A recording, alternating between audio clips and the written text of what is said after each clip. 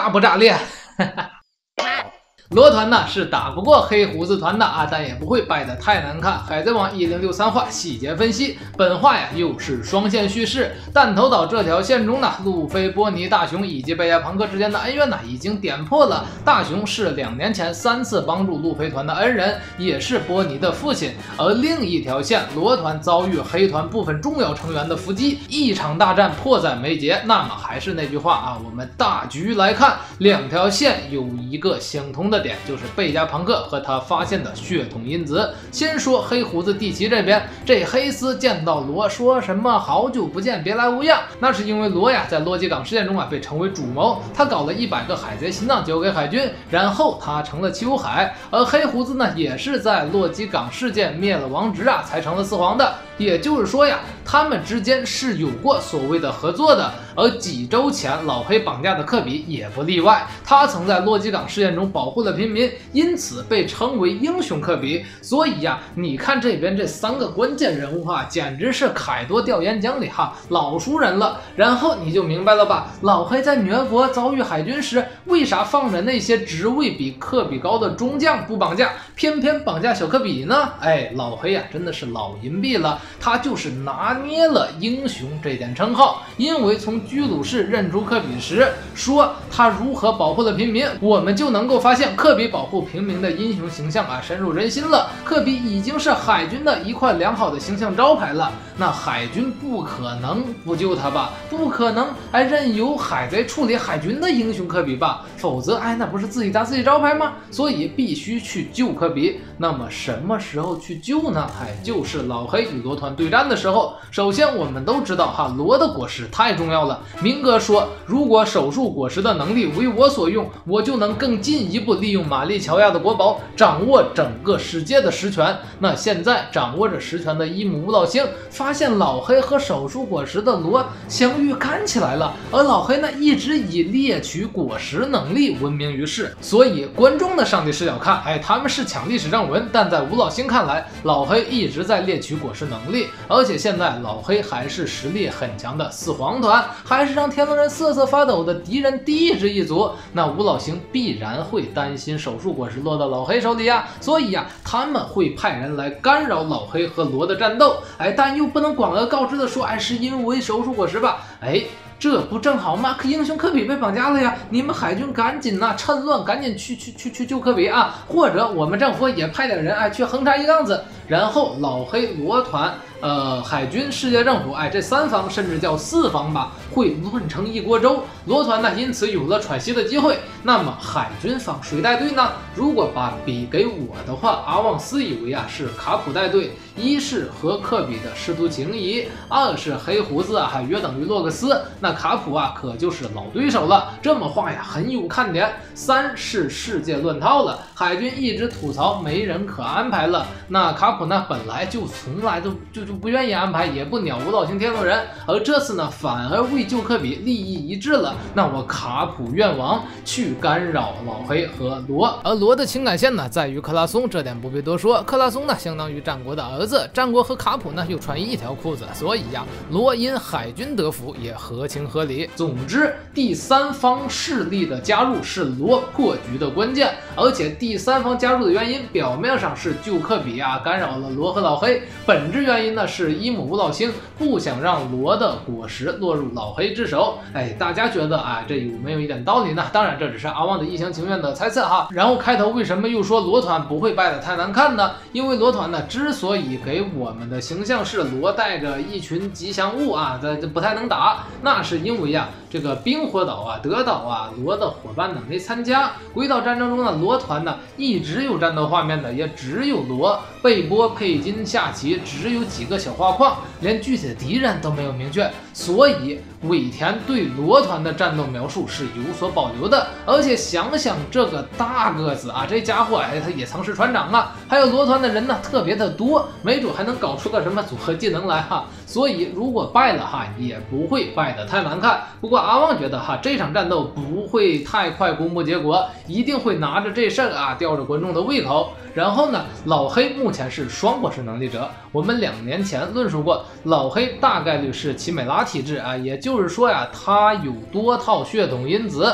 那在罗与老黑战斗的这条故事线中，可能就会提到哎老黑的双果实的效果样子。啊，也可能就会聊到原因，那么就会提到血统因子了。而血统因子呢，正是贝加庞克研究的主要课题，所以呀，血统因子也会在贝加庞克弹头岛这条故事线中提到。那么双线叙事的效果，哎，这不就出来了吗？就是两边会同时介绍一些血统因子的原理和应用，比如是不是这个恶魔果实和血统因子结合的，就就就能够获取恶魔果实能力了？哎，这个把恶魔吸出来了，是不是就能转移能力了？或者说物品为什么能吃这个恶魔果实啊？怎么有人能吃两颗恶魔果实呢？等等等等等等。毕竟目前的弹头岛啊是科学世界哈，有大把的机会聊聊血统因子的原理和应用。所以阿旺猜测，现在双线叙事中一个弱联系点就是血统因子，那另一个联系点呢就是贝加庞克了。我们回看老黑绑架科比的目的，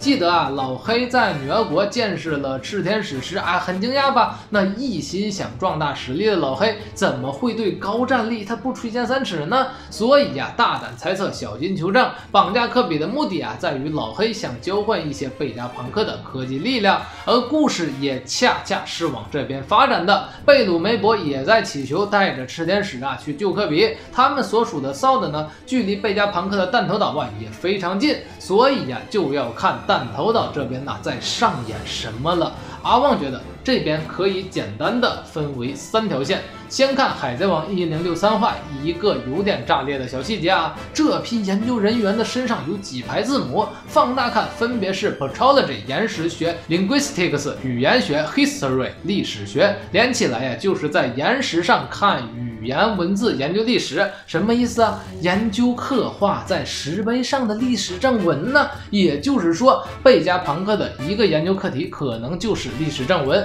这点呢与来自奥哈拉的罗宾呢是。一样的。而我们都知道哈，明确被世界政府掌握的历史正文呢，就是奥哈拉那块。所以啊，贝加庞克一号机正说，哎，想见见这帮人，其中想见的一个重要人物哈，应该就是罗宾了。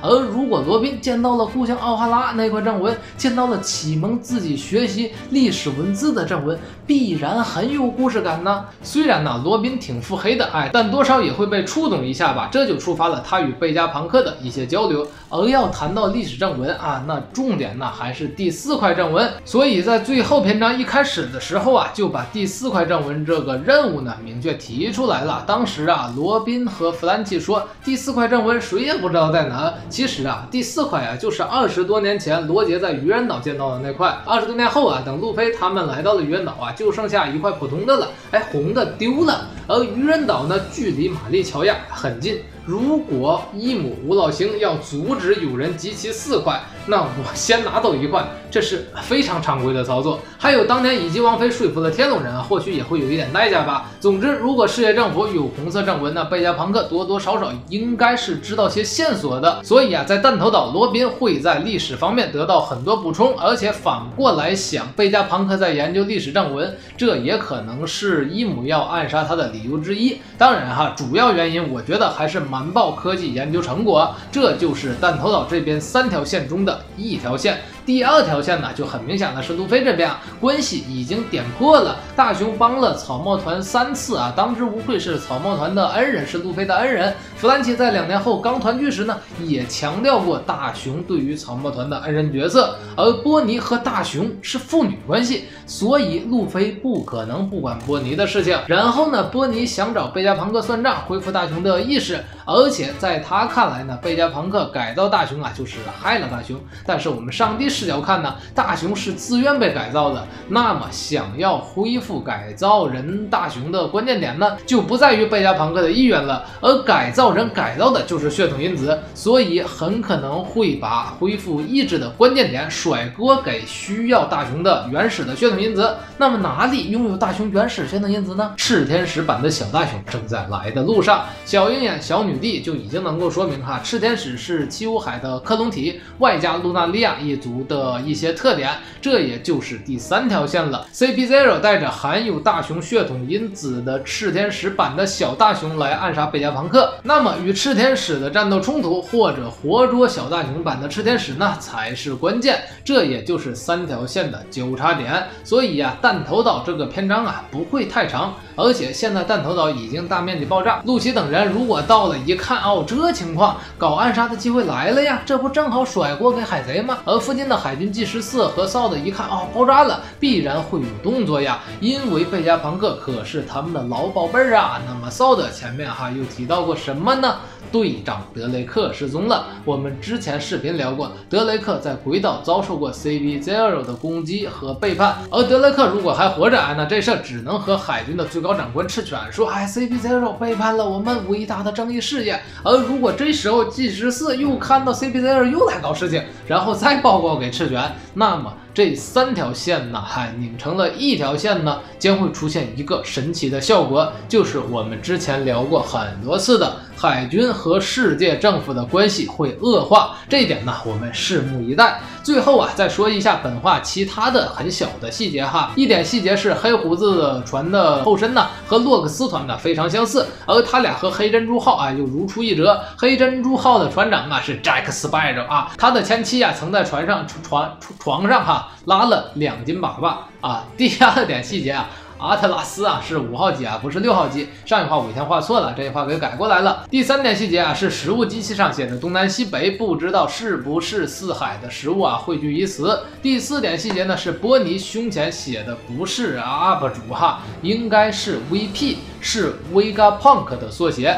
第五点呢，巴基斯的右侧脸呢都打上了补丁啊，不知道是萨波那次打的呢，还是后来猎取果实能力时啊又受了伤。然后啊，还想吐槽一点哈，这个巴基斯画的不太妙吧，把脸挡住啊，这更像是个大后背呀。好了，录完这期啊，已经是凌晨两点了哈，希望大家可以给爆肝旺的啊点个赞支持一下啊，我先去，哎，先去睡觉吧，明天再刷完，我们下期见，Goodbye。